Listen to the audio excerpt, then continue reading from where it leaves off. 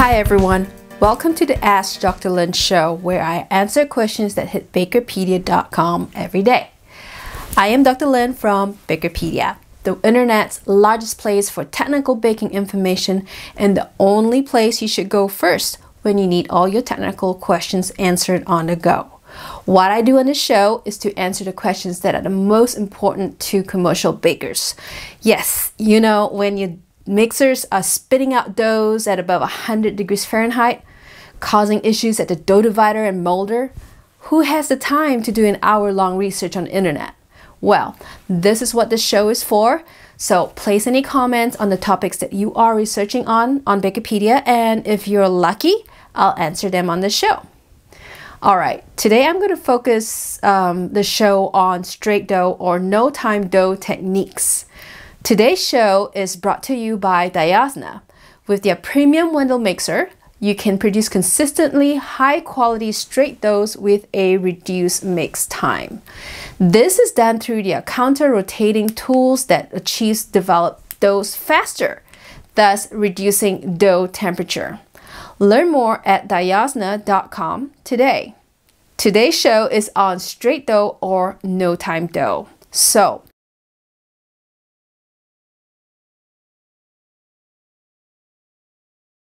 Straight dough or no time dough is a one step mixing process for bread making. With this method, all dry ingredients are put into the mixing bowl and mixed with water and ice at low speed. After the ingredients are evenly mixed, this is called the pickup stage.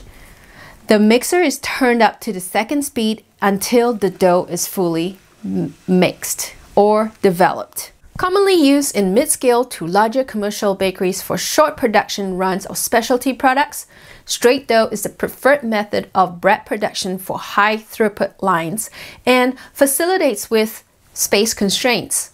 Why? Because it's the cheapest line and most affordable to put in. There are no sponges to wait on or to spoil, and the total process from start to finish could be as short as 90 minutes. That's fast, right? This is why this method is favorable amongst many American bakers.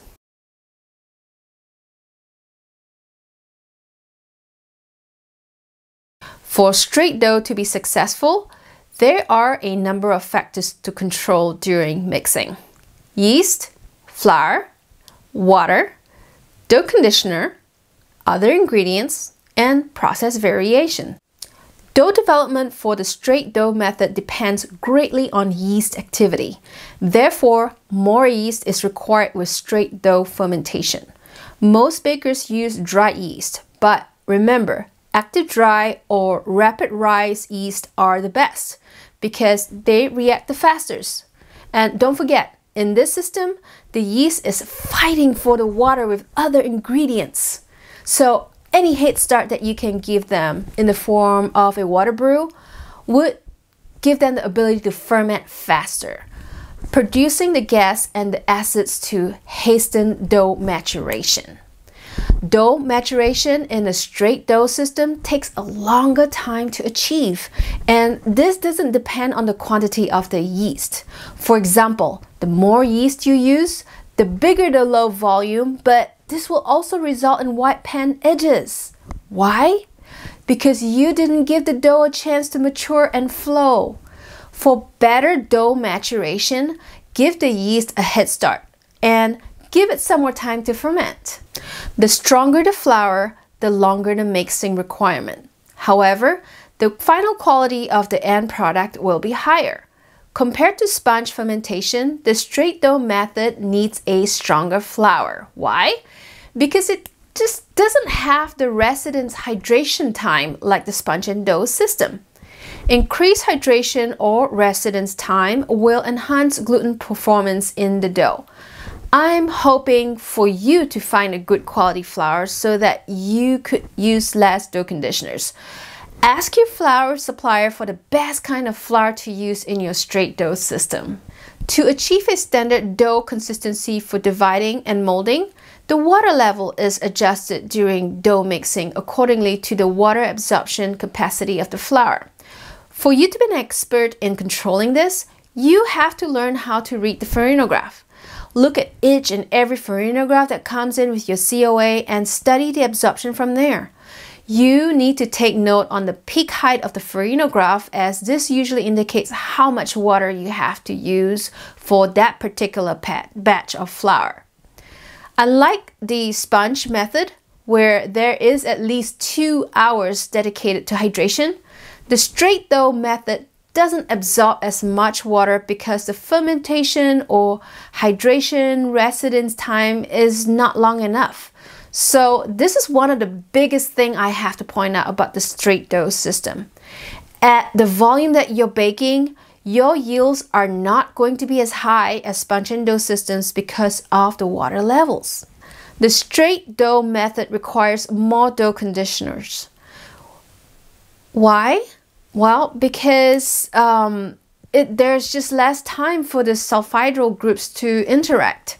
Therefore, more oxidizing agents, SSL, DATEM, and enzymes are needed to be used to strengthen the dough. This is absolutely a must because straight doughs are not mature or relaxed when they go through the dough divider or what I call the stressor of the system. And this causes a lot of surface issues that you will see as the dough proofs. Sometimes relaxing agents like L-cysteine and inactivated yeast are used because hydration isn't adequate to produce a relaxed dough that has a good pan flow. So dough conditioners must be a critical part of any straight dough system on commercial lines. Some ingredients are added for dough quality improvement besides the essential ingredients like flour, yeast, salt, and water. These ingredients could be things like fat, sugar, and salt for crumb softness and taste, enzyme active malt flour for gas production, gas retention, and crust color.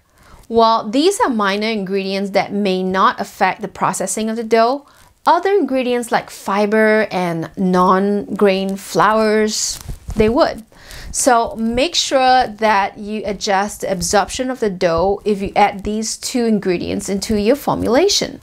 The biggest variation from a straight dough system is from the final dough mixing temperature. This needs to be controlled very well to prevent molder holes and surface issues. Much of the problems in straight dough comes from the final dough temperature and the inability to control it. Another big process variation is the proofing time and temperature.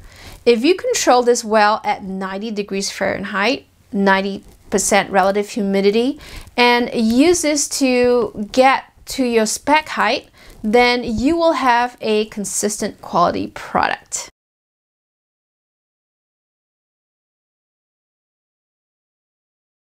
The advantages are easier to start production without early prep of the sponge or pre-ferment, less labor needed, tighter and more uniform crumb, quick processing time, easier for last minute product change orders, and less capital intensive to start up.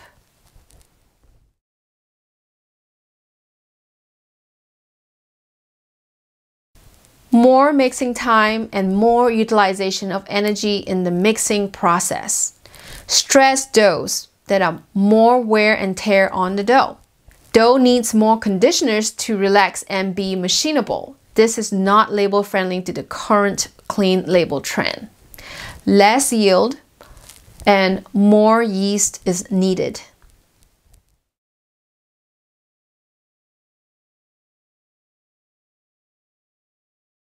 Most frozen doughs are produced with the straight dough method in order to limit the fermentation time. This, of course, affects the flow of the product because there is very little fermentation and therefore no maturation of the dough before it is frozen. Much care must be taken to control the dough temperature and to keep it low so that the yeast doesn't start fermenting. If you have a volume or rise issue, check your yeast. Are you using the right kind of yeast? Most often, yeast levels need to increase up to two times the amount of regular dough formulations. Remember, water absorption for doughs need to be at a lower level. Too much free water will kill the yeast. Also, did you fully develop your dough so that your gluten network is stable enough to handle the freeze thaw process? Underdeveloped dough will cause tear in the gluten network, and this will create paths for gas to escape when the dough thaws out. Lastly, do you have your dough temperature less than 90 degrees Fahrenheit or 32 degrees Celsius? This is to minimize fermentation. So these are the considerations that you have to make to make sure that your frozen dough product pleases your end customer.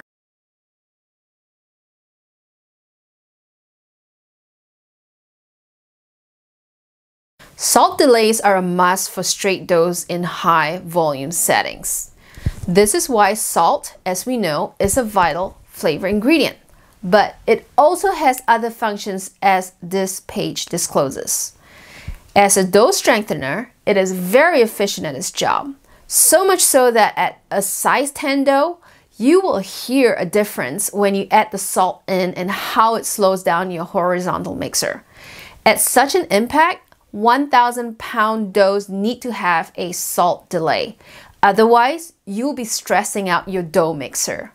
Want a longer mixer life? Delay your salt up to 75% of your mixing time.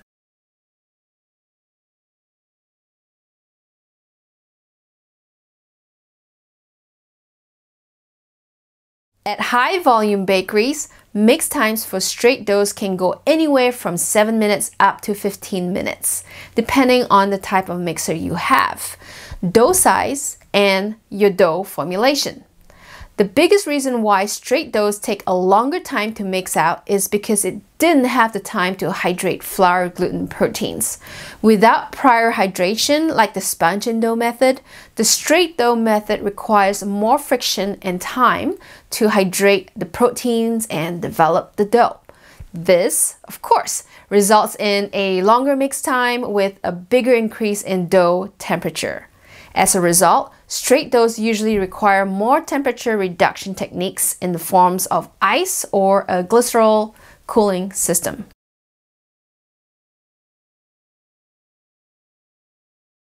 Straight dough in a high-speed commercial setting also requires the most dough conditioners, especially if green flour is used.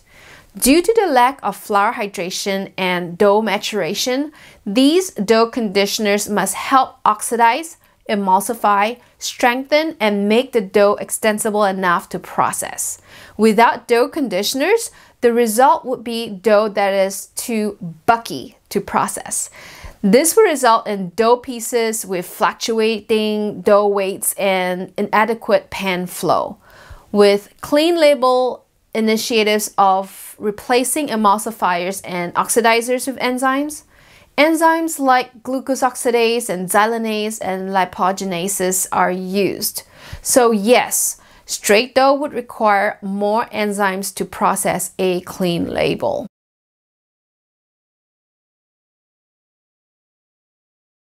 Controlling straight dough temperatures are usually very challenging due to the mixing process of unmatured dough. Even with temperature controlled mixers, Dough comes out at a higher temperature and naturally goes into the proofer warmer than desired. The higher dough temperature burns out more yeast and affects the oxidation and enzymatic reactions in the dough. So yes, this is why this system requires more yeast.